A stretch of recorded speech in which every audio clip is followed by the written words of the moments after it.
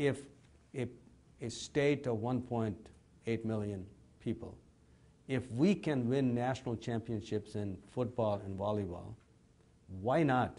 Why not in research? Why not capitalize on research and, and convert that into jobs and grow our economy and, and, and keep our young people, keep our kids and grandkids uh, here? I was not trained to take my research and turn into products. Business people are. They, they can see a value in, in, in an idea.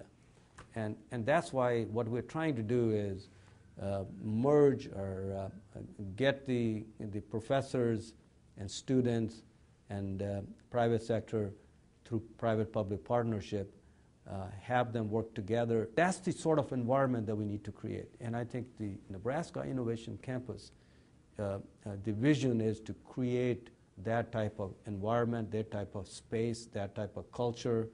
And, and, so the experts in, in, in the, the content experts in science and the, and the business experts who know how to uh, uh, look at well, what, what products can we come up with, how can we capitalize on this research and create jobs.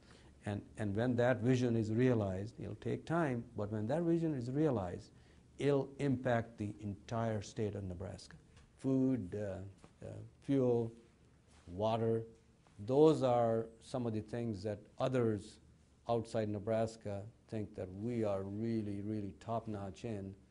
And if we are, we want to grow uh, Nebraska's industry, we've got to capitalize on that. What we find in research, if it is um, stored on the shelves in professors' offices, then, then we missed uh, our opportunity to, to educate people and make an impact.